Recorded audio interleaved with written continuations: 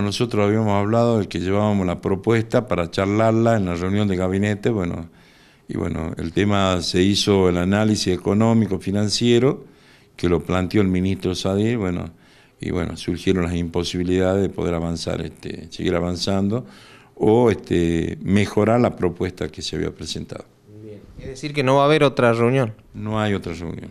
No se puede avalar ni, ni, ni poder pagar lo que piden los gremios, no hay posibilidad económica.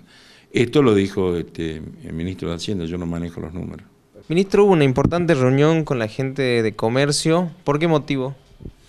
Bueno, sí, convocamos nosotros audiencia al sector del comercio y también al gremio, al gremio del comercio, por el tema festivo, eh, teniendo en cuenta que normalmente llega la Navidad, llega el Año Nuevo y hay una incertidumbre en cuanto a los horarios de trabajo del comercio en general, de los supermercadistas y también ver la forma de pagos, ¿no es cierto?, cómo se va a abonar a la gente que trabaja en los horarios de asueto, por así decirlo.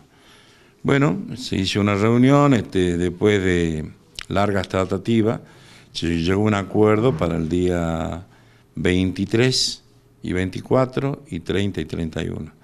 El día 23 de diciembre se va a trabajar en el comercio hasta las 10, hasta las 22 horas, ¿sí? Y el día 24 se va a trabajar hasta las 16 horas, ¿sí? Antes de la Navidad. Lo mismo para el tema del día 30 de diciembre, que un día antes de Año Nuevo, se va a trabajar hasta las 22 horas y el día 31 hasta las 16 horas. Por supuesto que esto es con, pago doble, que es lo que corresponde